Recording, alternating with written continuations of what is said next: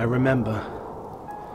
Everything was going so well that first week, but I think because I had isolated myself for so long, the damage was already done.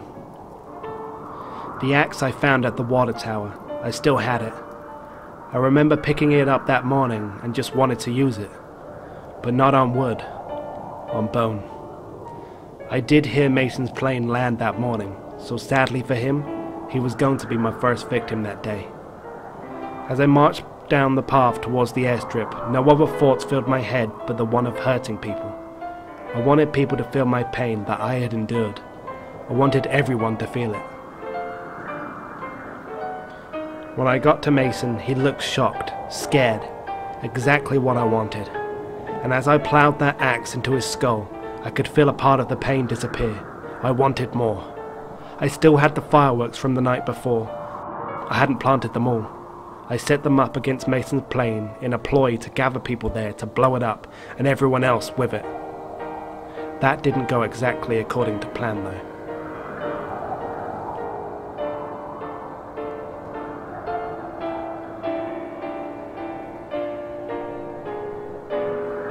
When I got to Marcus's house, I tried to convince him and Anna to come with me to the plane, but they wouldn't.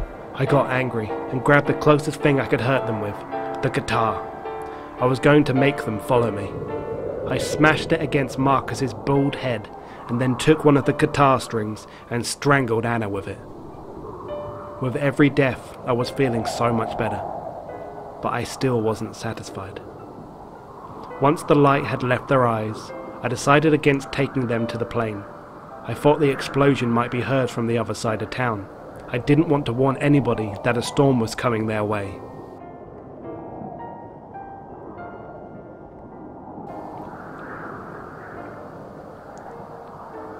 I dragged their lifeless bodies down towards the river.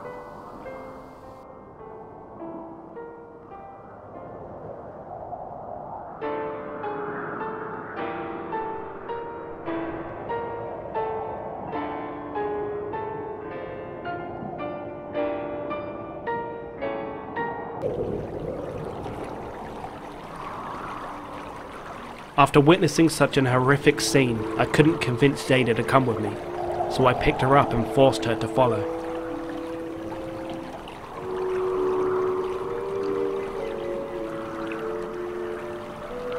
I had set the boat up already. Both Marcus and Anna were there, laid out, like luggage, ready for the voyage. I put Jada in the boat and rowed down the river towards the other side of Silka.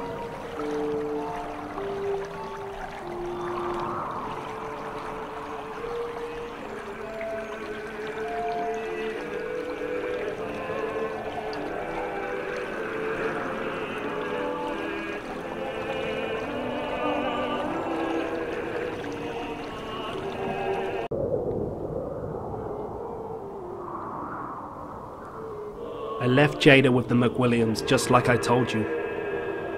But of course, it wasn't so I could go investigate the blood. The blood trails were being created by me.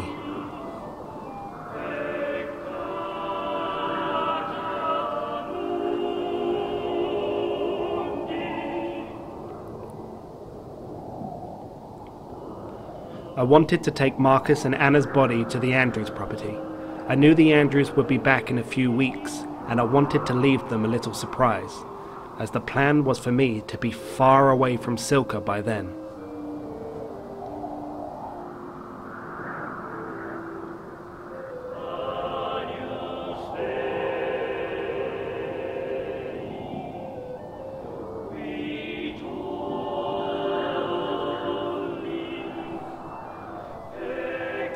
As I was hanging their bodies up on meat hooks, though, Jada must have followed me. She witnessed further onslaught as I was hanging them. I turned around and tried to chase her, but she was gone by the time I was out the house. I knew which direction she would be going in, though, back towards the boat. It wouldn't have been a hardship to catch up with a little girl, so I decided to finish my plan first. I went to the Clark's house to take out Myra and Shane. I couldn't find Shane, but I think Myra was hiding. I looked round the house, couldn't find her, But when I made my way out onto the balcony, she made a run for it. I shot her. Not by accident, like I said. I meant that bullet. I ran back to the McWilliams next, told them to get to the plane, and then went to find Jada. I found her quickly. She was struggling on the ice. I had created a hole in the ice when I was ice skating last week. I grabbed Jada and threw her into the hole, into the ice cold water. I watched her struggle for a bit, then held her head under the water until she struggled no more.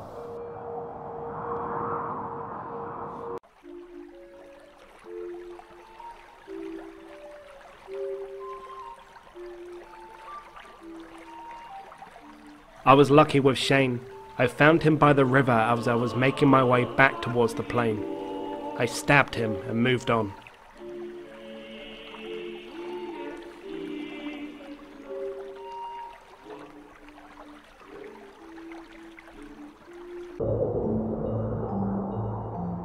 As for the McWilliams, the finale was prepared earlier for this moment.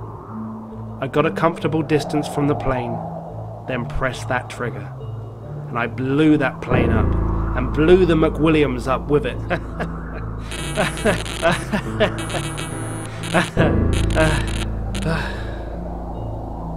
and then. I then made my way back home and. This isn't real, is it? The police aren't even here yet. Oh, what have I done? What have I done?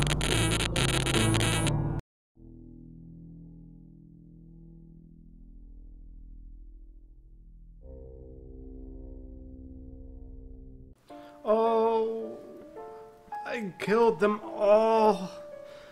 Why? What have I done? Darling.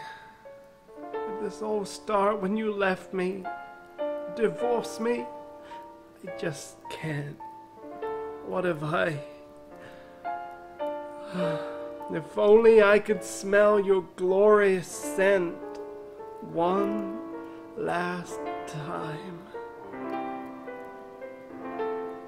Oh? Oh? What? Not you too! Not you too! Oh, what have I become? I'm so sorry. I'm so, so sorry.